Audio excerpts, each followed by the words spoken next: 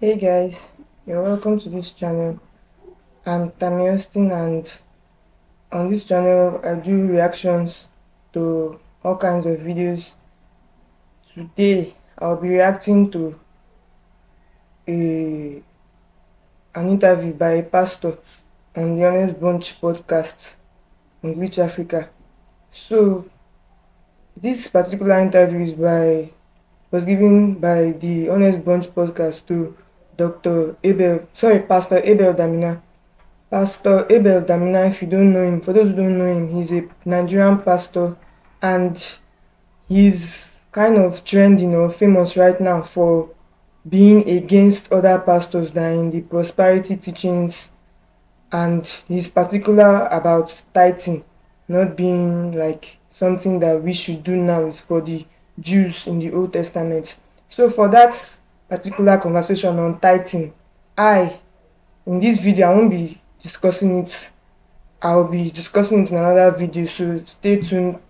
I'll post another one after this, but I'm here to debunk what he said about Elijah. The part so speaking about miracle, uh, he said something about I have to read this out, sorry. Something about it wasn't God that answered Elijah's prayers. Okay. Okay. Can you Okay, so the context in which I was dealing with was the fire that came down that Elijah asked to come and it destroyed 250 people. Yes. Where in Second Kings chapter 1, Elijah said, If I be a man of God, let fire come down. And the fire came down and consumed these 250 people. Mm. Now, why did I say it was not God that answered that prayer? Because in Luke chapter 9, verse 51 to 55, the disciples of Jesus wanted to go to Samaria with Jesus. And on their way to Samaria, Samaria, the Samaritans said they cannot come to their city. So the disciples said to Jesus, Should we command fire to come down and delete this city like Elijah did? Mm.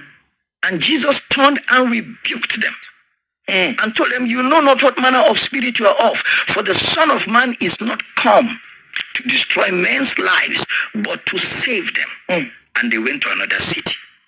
Which means if mm-hmm. Jesus is the same yesterday, today, and forever, Means he was not if he was there where Elijah was calling fire to mm. destroy cannot people, answer him. he would have rebuked him mm. because he changed it. because he was to destroy life and he does not support that which means if he is god and he was in heaven that time if for not made them So where did the fire come from now?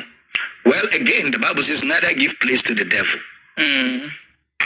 it's so, so. So a man of God, a man of God can cooperate with Satan over his congregation and bring Satan to destroy people. wow. A way wait oh. this is it's Elijah that we are talking about. Yes. And that in, in, in certain prayers, people say, God of Elijah, send down Send down fire. fire. No, no, no, that prayer is not right. That mm-hmm. prayer is not right, except you don't believe that Jesus is God. That prayer is not right. yes These are not the days of Elijah. Yes. These are the days of the manifestation of the sons of God. Elijah was a servant. We are sons. We are sons. We are not servants. We are born of God. Elijah was a servant. Nobody was born again till Jesus rose from the dead. why why is 100 percent correct by saying that that just, just just like he said in every context there's pretext and there's post-text and and how bible take the wonderful and say something might be said here Nedu is in literal heaven right now.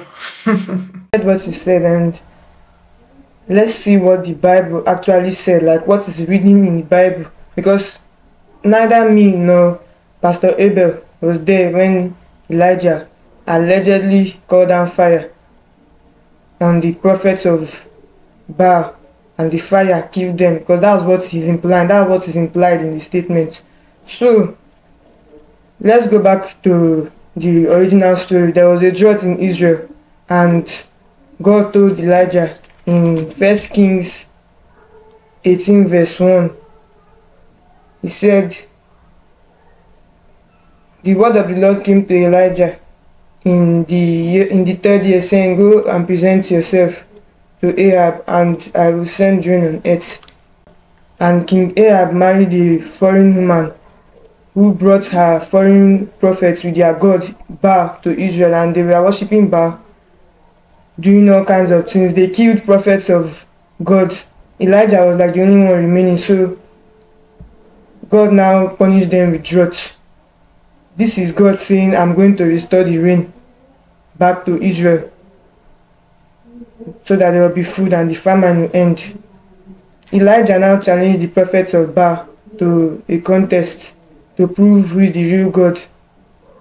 So he said to them in 1 Kings 18 verse 24, Then call you on the name of your gods. I will call on the name of the Lord, and the God who answers by fire, he is God.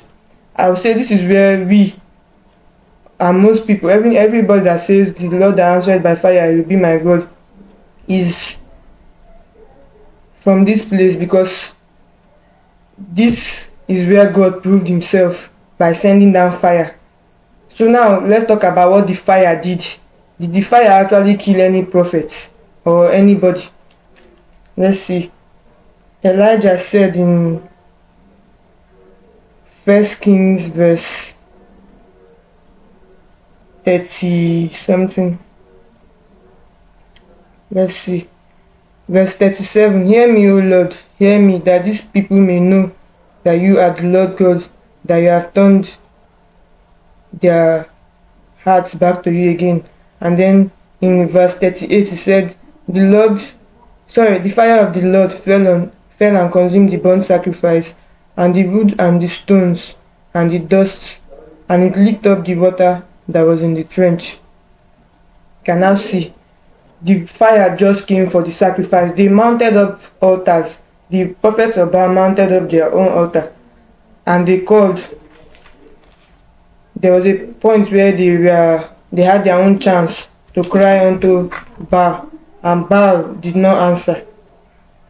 Where the killing of the prophets comes in, it was not the fire, it was Elijah himself. And Elijah in First Kings 18 verse 40 says, And Elijah said to them, Seize the prophets of Baal, do not let one of them escape. So they seized them, and Elijah brought them down to the brook Kishon and executed them. So it was Elijah himself that killed them. For him killing them, he has he actually has grounds, legal grounds based on the law. Deuteronomy 18:20 says, But the prophet who presumes to speak a word in my name, which I have not commanded him to speak, or who speaks in the names of other gods, that prophet shall die or shall be put to death. You see in Leviticus, there is a verse about people sacrificing their children or any children of Israel to other gods. And those ones too is punishable by death, by stoning, and other forms. So Elijah did not actually call down fire on the prophets. He called down fire on the sacrifice. God to claim the sacrifice and show people who that he is God, that he is alive. So I don't know why Pastor Abel Damina had to say that. use that as an example of how pastors sit over sit over Israel, say Israel, sit over their congregation to like with, de- with the devil, like what he said here, with the devil, you come, or what did he say? Collaborate with the devil to over their congregation. It happens. There are some false prophets. We've heard of the Bible even preaches about says we should watch out for these people. There are people that use demonic powers. They can actually do that, but this is not an example. At this point now, someone will say um, Pastor Abel is committing heresy or whatever because now he's contradicting the word of God. He's saying because if you look at the Old Testament from even Genesis, there are so many places where some actions warrant instant death, like and even in the New Testament, when Ananias and Sapphira lied, they died. I guess what he's trying to say is we Christians should not be calling for death, but it's not every time we say God of Elijah send down fire that we're asking for the death of enemies. The issue of people wanting their enemies to die, that is where we now have debate. And I may kind of side with what he said because at the end of the day, everybody is a soul, both the evil ones and the good ones. Sometimes even Pastor David Ibiyeomie that likes to talk about vengeance. He says any soul you've prayed for, anybody you've prayed for, that you, want the person to die, that is harming you, not that you just want someone to die. Someone harming you, that you've been praying, God, kill this person or remove this person, and the person has not yet died. It means that person is a soul. Go and preach, stop praying and go and preach to the person. I feel like we should pray for the person's repentance first, preach to the person, and then say, God, let your will be done at this point because the power of life and death is in God's hands. But Pastor Abel Damina, he has many things that he said that are right. I mean, when I saw the video, I was excited to watch it. I happily tuned in to see. In fact, I was like everywhere goes scattered because I'm at the point where I'm like, I think the church is focused on the wrong things every time. Even me myself, there was a point where I was now like paying tithe and giving offering like it was a tax for me to like you know when you invest money it's not supposed to be an investment i'm not supposed to be giving because i want god to bless me. I'm supposed to be giving because i want to help. And i have the means to help. I'm giving you see me i know that at the end of the month maybe at some point of the month i will finish my money. So when the salary comes i've already calculated my offering for the month so i'll just transfer it or just withdraw and pay like that. That's what i was doing at a point. And it was not helping me. I wasn't at the point i was like am I doing what, what what is my motive for doing this? Because I want to give in God's house willingly or because I'm expecting blessing. And yes, I was expecting blessing. Not that it's wrong for you to expect blessing, but that should not be your like the re- the main reason. So if there's no blessing for me to stop. So I just want us to think about this. okay. Let us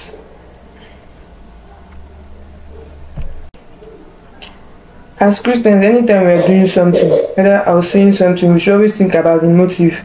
Personally, I feel like Pastor Abraham now had come to the point where he kind of sees himself as someone that is doing something and he, fe- he sees himself as better.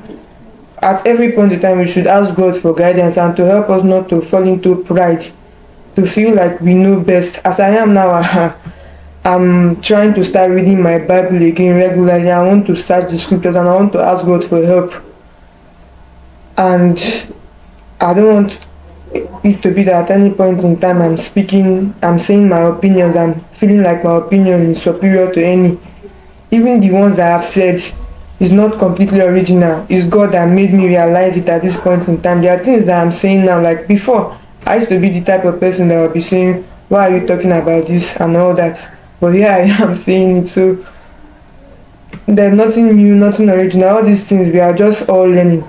I don't like the fact that he came out saying some people are not qualified, only to now come and make a very big blunder, saying something that you, he didn't even say the story correctly. He said it completely wrong. That was not what happened. That was not the purpose of that fire coming down. If you want to now debate about the killing, you should have separated it from the fire. You would have corrected her because the person that asked that question, uh, the lady that asked him about Elijah, she's a Muslim. That's the, and then um, Mr. Nedu may not be. You see, uh, may not be that much of a. I don't think he's a Christian. Maybe he grew up in the church, but the way he is now, the way he's moving, he seems like someone that has left, so he cannot remember. Uh, the other man that was saying, wait to, you see, this Elijah we're talking about. It seems like the way I felt too when I was watching like maybe we should backtrack and are you sure you're, what you're saying is correct? Because the way you remember it even if you can't remember the details you can feel that there's something wrong with the story. So me i had to now go back and check point by point. And i realized hey this is why this thing felt strange to me because this is not actually what happened. So let us be careful. I pray that god will guide pastor abel back to the point he started where he has a, even all these other pastors they all came from somewhere. They had a vision or they, a calling or passion even though they were not called by god but they have passion for doing this. And then along the line they all went and they, they may have gone too far but i don't believe there's anybody that has gone past the point of correction. Even uh, what is his name? Pastor benny hinn that most of nigerian pastors are modeling their whole ministries after there was a point where he came and apologized for uh, asking i know they say he has come back to doing that like when you come out and say bring ten thousand or one thousand dollars or just like putting a particular like a fixed money you should bring. Normally they will say bring what you have. He there was a time he was saying bring a specific amount and above. So he came out and actually apologized and said that he kind of lied against the Holy Spirit or like maybe that was not what the Holy Spirit asked him to do and the Holy Spirit has said this is wrong or the Holy Spirit noticed the Holy Spirit left him something like that but he apologized. So there's nothing that cannot be corrected or cannot be fixed while you're still alive. I pray God will help all of us to go back to the right point and show us the right point because most of us think we know until something happens. That's when we know that we've been doing something wrong. So for everyone that stayed here with me if you liked this video and want to see more please like my video so that the algorithm will recommend it to you and show other people.